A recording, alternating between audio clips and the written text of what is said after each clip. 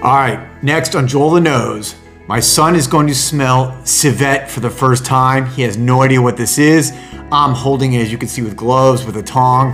And let's just get right to it. Well, so much for holding with the tong, but now let me put it back. Ready? Ah! It smells like bird poop. And Other poop. I don't know. it literally just smells like someone didn't wipe.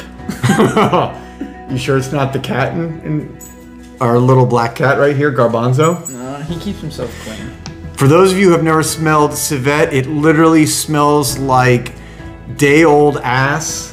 Uh, like after you've been running and jogging all day with a dirty, dirty crack.